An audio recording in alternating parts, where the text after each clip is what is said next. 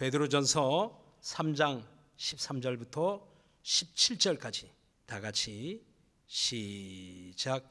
또 너희가 열심으로 선을 행하면 누가 너희를 헤아리요?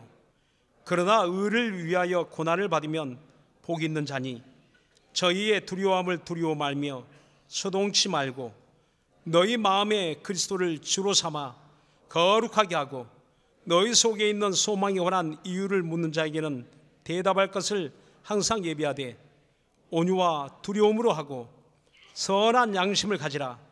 이는 그리스도 안에 있는 너희의 선행을 욕하는 자들로 그 비방하는 일에 부끄러움을 당하게 하려 함이라. 선을 행함으로 고난 받는 것이 하나님의 뜻일진데 악을 행함으로 고난 받는 것보다 나으니라.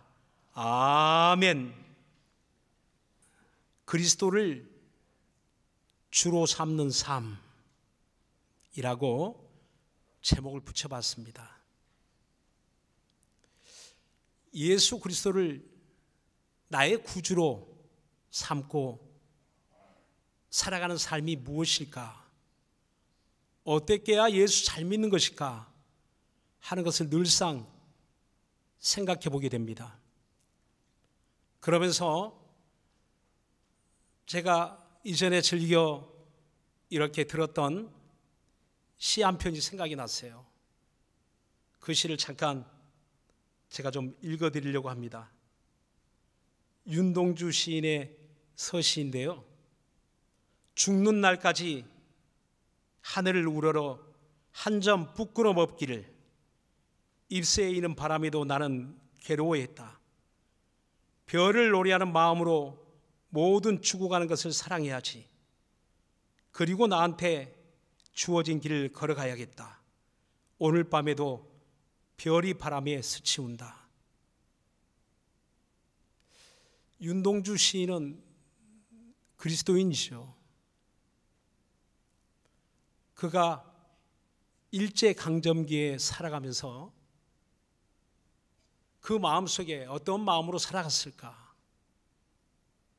이 시 한 편에 그의 인생, 그의 삶의 철학이, 그의 신앙이 다 이렇게 담겨 있지 않나 생각합니다.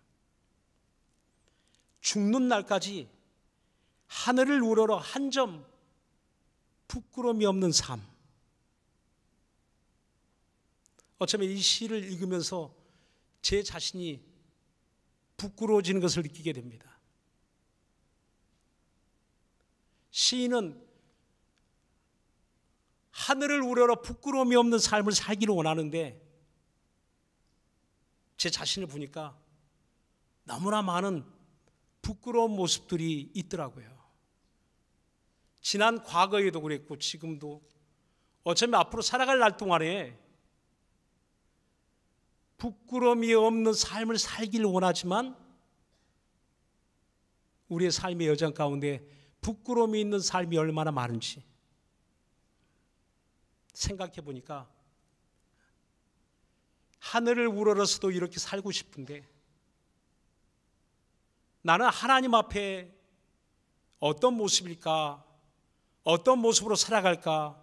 어떤 모습으로 살아야 되나 하는 것을 생각하지 않을 수 없습니다. 오늘 성경 본문에도 그리스도를 주로 삼으라 라고 했는데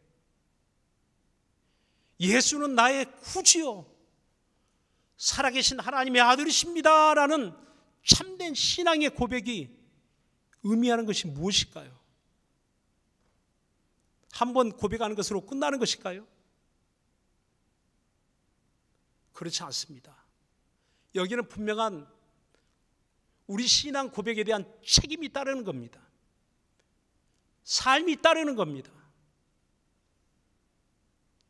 예수님이 나의 구주시라면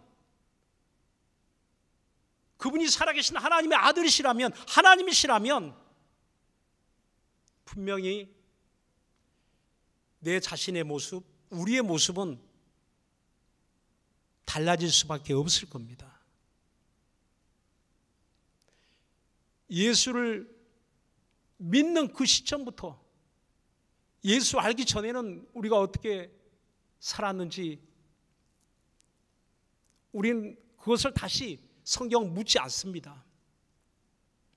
그러나 우리가 예수를 믿고 나서 어떻게 살아야 되나 하는 것을 곰곰이 생각해 보면 고민하지 않을 수 없는 거예요. 그것은 지금 살아계신 하나님 앞에 그분을 마주하며 그분의 시선 아래서 우리가 살아가고 있기 때문입니다. 그래서 오늘 성경 본문을 통해서 사도 베드로는 이렇게 이야기합니다. 예수를 나의 구주요 살아계신 하나님이라고 믿는다면 두 가지 사실이 분명히 존재한다는 겁니다. 첫째는 두려워할 자를 두려워하는 신앙이라는 겁니다. 우리가 세상을 살아가면서 두려워하는 것들이 얼마나 많습니까?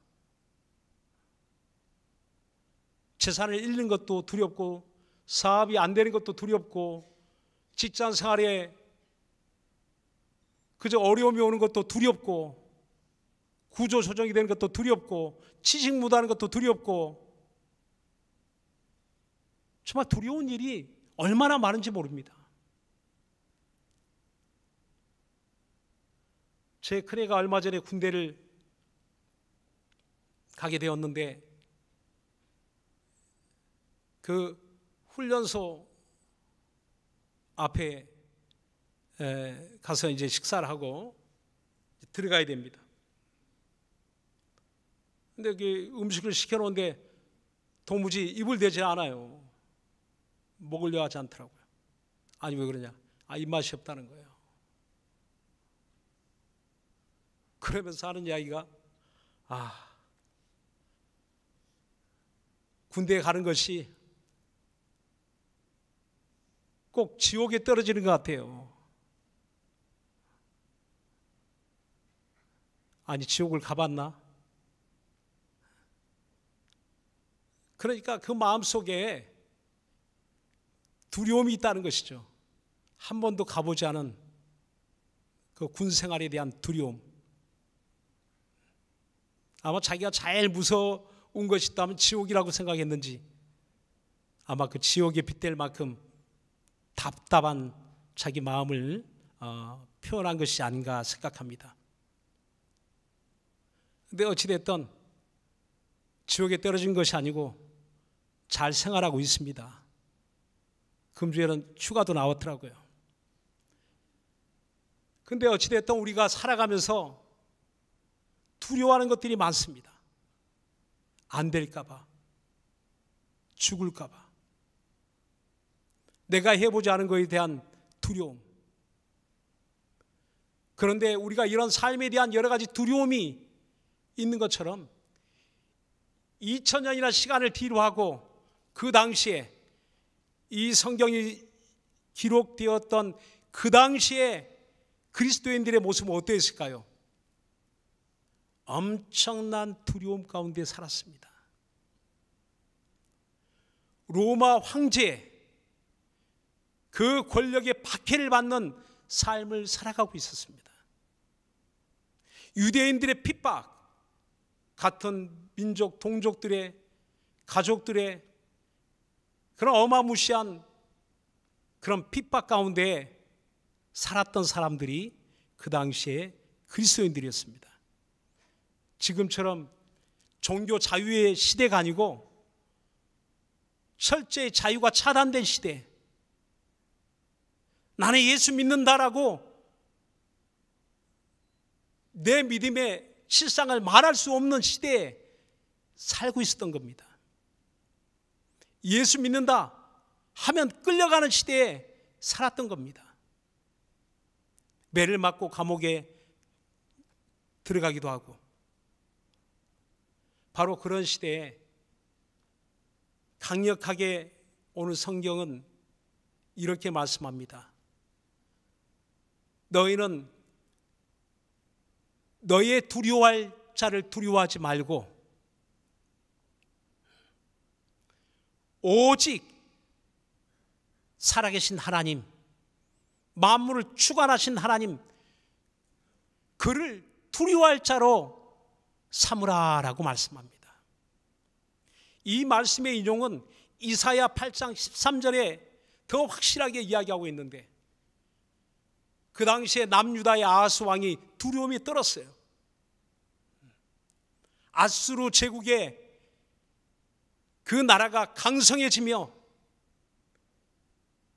곧 이스라엘을 침략할 수 있다는 것 때문에 그런 두려움에 떨었습니다. 아람 군대와 북이스라엘이 연합하여 또한 남유다를 침공한다는 소식을 듣고 두려움에 떨었습니다. 그 연합군 때문에 두려워 떨고 큰 제국 때문에 두려워 떨고 그때 이스라엘을 통해서 하나님이 하시는 말씀은 만군의 여호와 그를 거룩한 자로 너희가 여기고 그를 두려워하며 오직 그분만을 놀라워하는 자가 되라라고 말씀합니다. 여러분, 우리 앞에 있는 두려움보다 하나님이 더 두려워할 자로 여러분 느껴지십니까?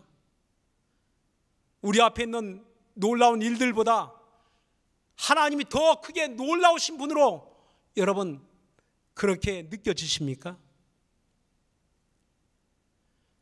어쩌면 우리는 예수를 믿는다, 하나님을 믿는다 하면서도 세상에 있는 것들을 더 두려워하며 살아갑니다.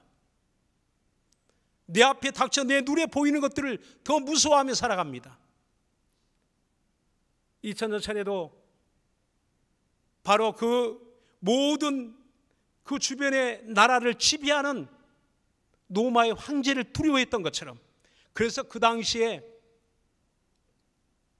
주라는 그리스도를 주로 삼다 할 때 그 주 퀴리오스라는 그 말을 사람들은 로마 황제에 빗대어 그 말을 사용했습니다. 로마의 황제는 주인이다. 이 모든 세계의 주인이다. 우리들의 주인이다. 그렇습니다. 그 당시 사람의 인식 가운데는 보이지 않는 하나님이 주인이 아니, 아니라 보이는 사람, 황제가 그들의 주인됨을 고백했습니다.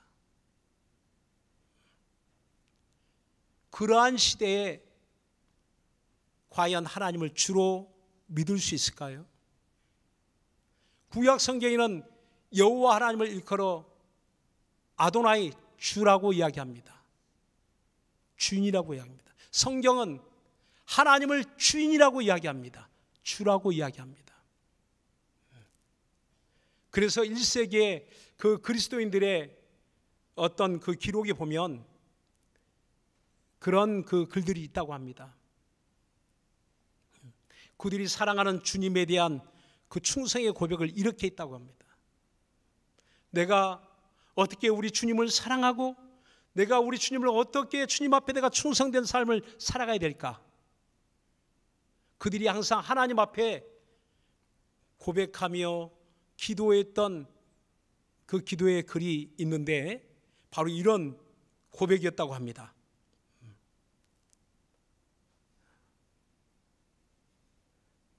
나로 하여금 가이사의 충신들이 가이사에게 바쳤던 그 충성보다 주님을 향한 충성의 정도가 결코 적지 않게 하소서라고 고백했다고 합니다.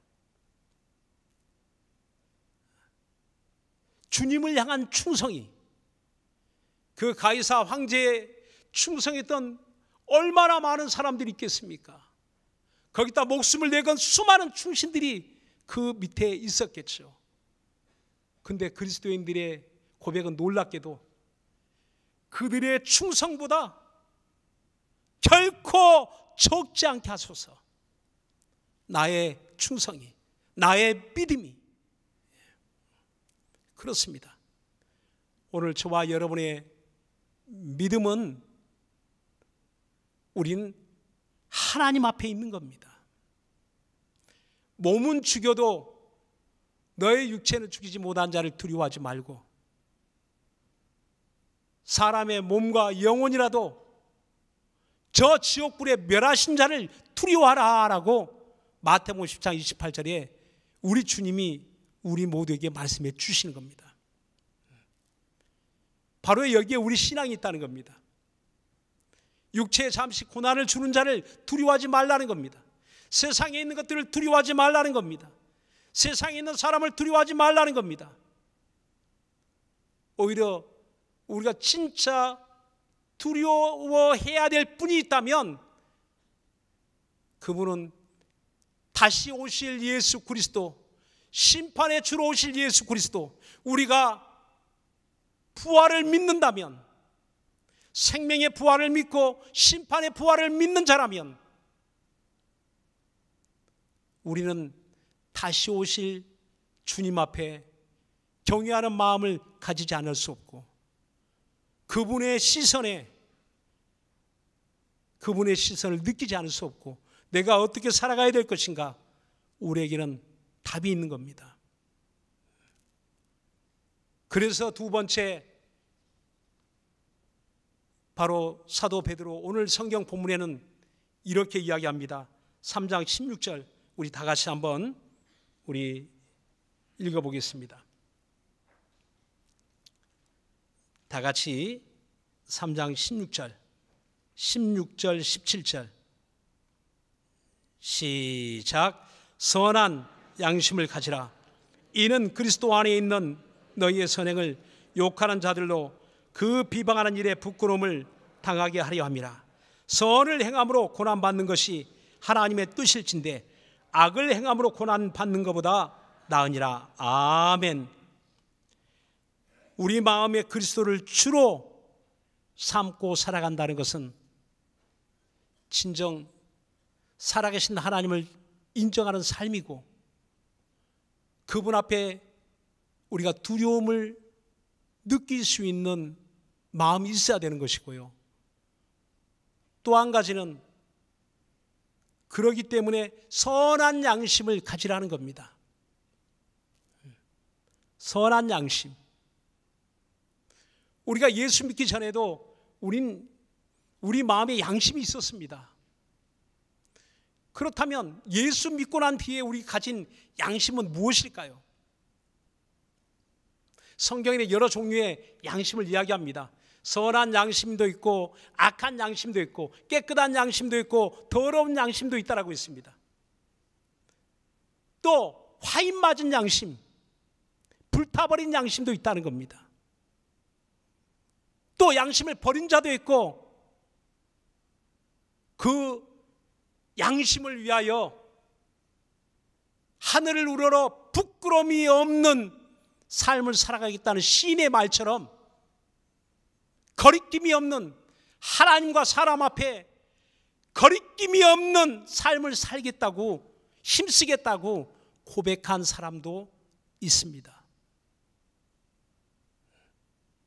사도행전 23장 1절에도 24장 16절에도 사도 바울이 고백하고 있죠.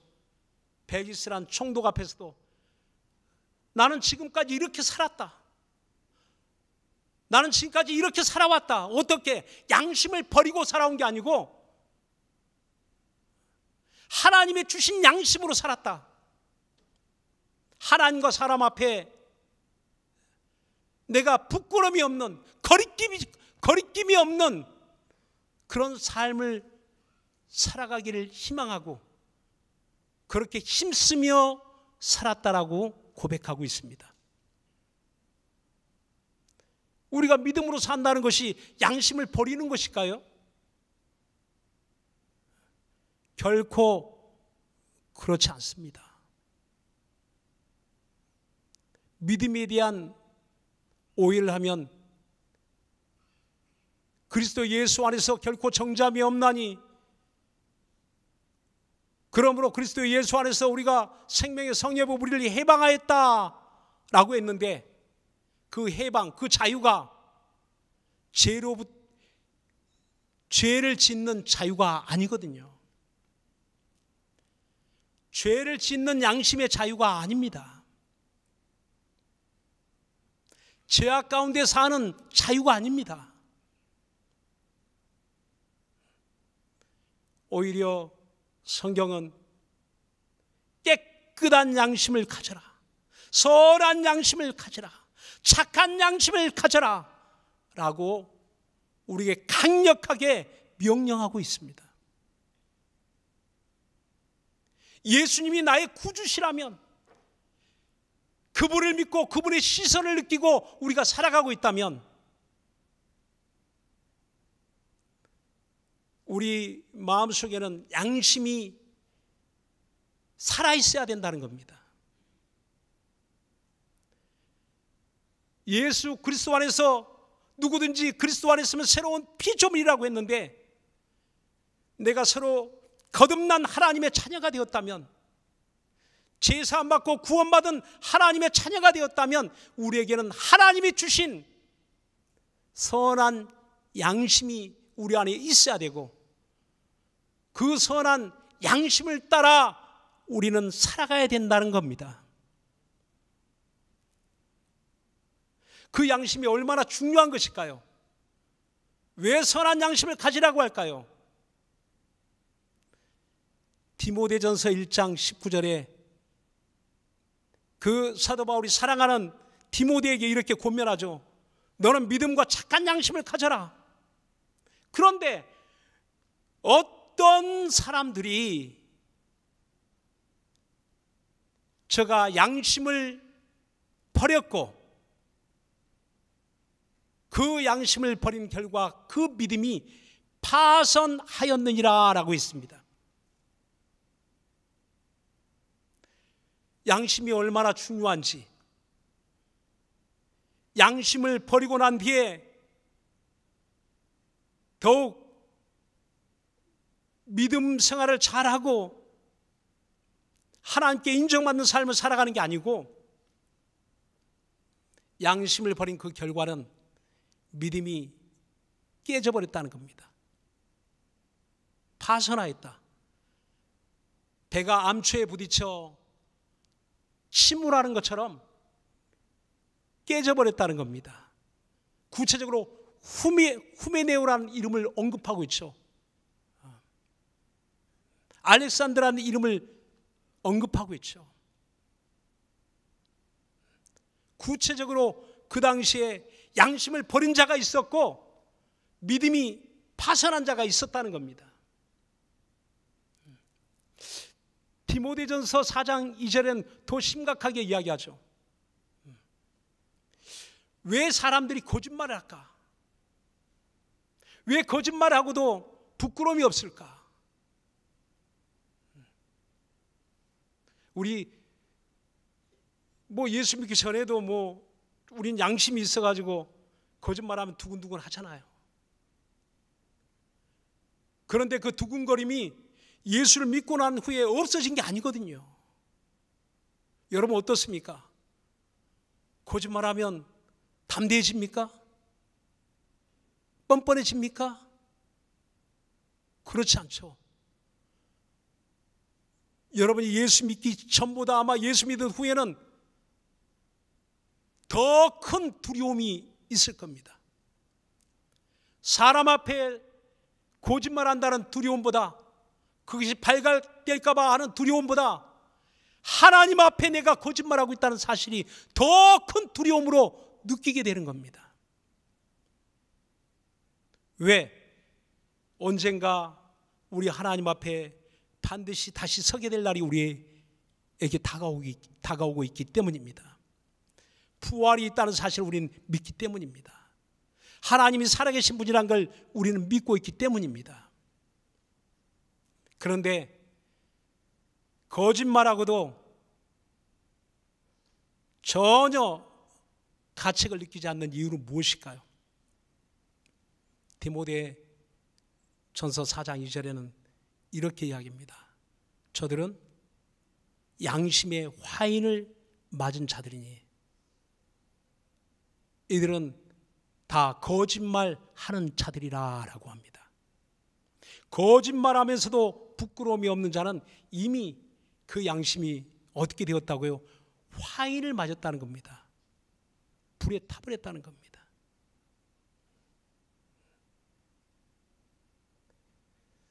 오늘 저와 여러분이 예수 잘 믿는 길이 있다면요. 그건 선한 양심으로 우린 살아가는 겁니다. 하나님이 저와 여러분에게 주시는 선한 양심. 그래서 성경에는 우리 모두에게 선한 양심이 있는 줄 아나니 어떻게 합니까? 우리가 선한 일을 행하는 것을 볼 때에 우리 안에 선한 양심이 있는 줄 아나니 선한 양심이 있는 사람은 선한 일을 도모하고 선한 일을 하기를 기뻐하고 선한 일을 하며 살아간다는 겁니다. 왜? 오늘 성경 본문에 이렇게 이야기하잖아요. 너희의 선한 양심을 가져라. 선을 행함으로 고난 받는 것이 하나님의 뜻일진데 선을 행함으로 고난 받는 것이 하나님의 뜻이라는 겁니다. 악을 행함으로 고난 받는 것이 하나님 뜻이 아니고요. 오늘 선을 행함으로 하나님 보시기에 합당한 일을 행함으로 고난 받는 것이 하나님의 뜻이라는 겁니다. 그러므로 의를 위하여 핍박을 받은 자는 복이 있나니 복 있는 사람은 거짓말하는 자가 아니라 의를 위하여 핍박을 받는 사람 오히려 차라리 핍박을 받을지라도 선한 양심 때문에 핍박을 받는 사람 복 있는 사람이라는 겁니다. 저와 여러분이 욕을 먹는 것도 우리 안에 선한 양심이 없었다면 우리가 어떻게 이렇게 개혁하고자 힘쓰겠습니까? 선한 양심이 없다면 어떻게 그리스도의 몸을 하나님 뜻대로 세우고자 하는 일에 우리가 함께 하겠습니까? 어떻게 예배다운 예배를 드리, 드린다는 이 일에 우리가 힘쓰겠습니까? 선한 양심이 없다면. 아마 예배하는 일, 교회를 다시 새롭게 하는 일 관심 없을 겁니다. 선한 양심이 없다면. 선한 양심에 화인을 맞았다면 우리는 다 자기 마음대로 살아갈 겁니다. 그러나 하나님 주신 선한 양심, 이 사회적 양심을 도덕 윤리라고 합니다. 그보다 더 확실하게 이제 어, 규정되어 있는 것을 사회법이라고 합니다. 그런데 이런 사회적 양심, 일반 양심보다 더 수준 있는, 더 높은 수준, 비교할 수 없는 최고의 수준이 무엇인가? 바로 하늘의 양심, 선한 양심입니다. 그 양심은 하나님의 말씀을 따라 살아갑니다. 구약에는 율법을 선한 양심으로 알고 살아갔지만 이제 예수의 그리스도의 복음을 받은 자들은 바로 하나님 말씀을 우리의 선한 양심으로 삼고 있습니다. 예수를 주로 모시고 살아가는 자는 하나님 말씀이 우리 안에 선한 양심이 되어서 우리가 격길 갈때 그 말씀으로 성령께서 깨닫게 해주시죠. 그래서 우리 안에 회개가 일어납니다. 참된 회개가 일어납니다.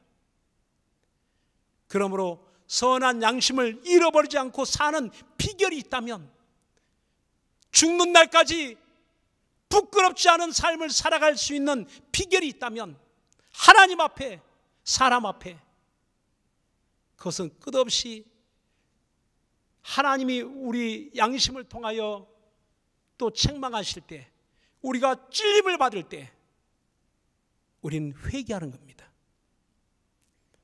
양심을 무시하는 게 아니라 성경에 저들이 마, 마음의 찔림을 받고 하나님께 돌아오더라 그랬습니다. 하나님 말씀을 들을 때 찔림을 받고 하나님께 돌아오더라고 했습니다.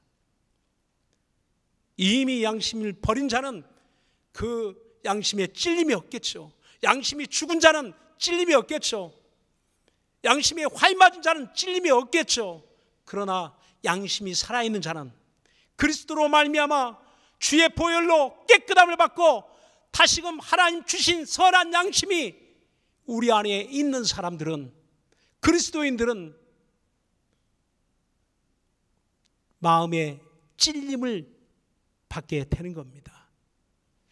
그래서 회개가 일어나고 하나님께 다시금 돌아옵니다. 멀어지려 가다도 다시 돌아오게 됩니다. 그리고 늘상 그 말씀을 즐겨 우리 마음에 받습니다.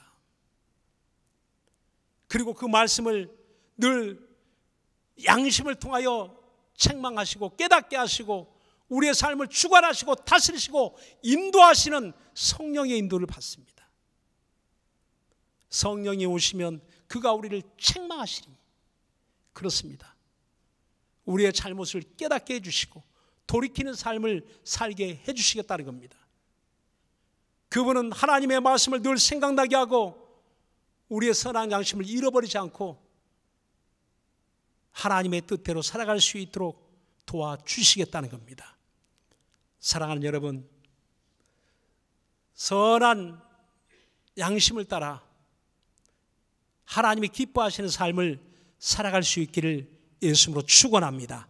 어떤 사람들처럼 양심을 버린 자가 되지 않고 양심에 화인 맞은 자가 되지 않냐고 선한 양심으로 살아가는 사람 그가 참된 그리스도를 주로 모신 사람입니다.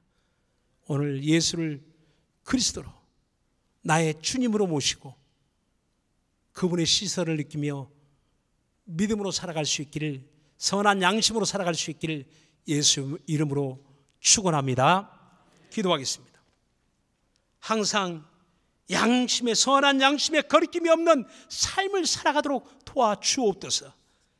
양심을 버린 자가 아니라 선한 양심을 따라 하나님의 양심을 따라 하늘의 양심을 따라 살아가게 도와주소서.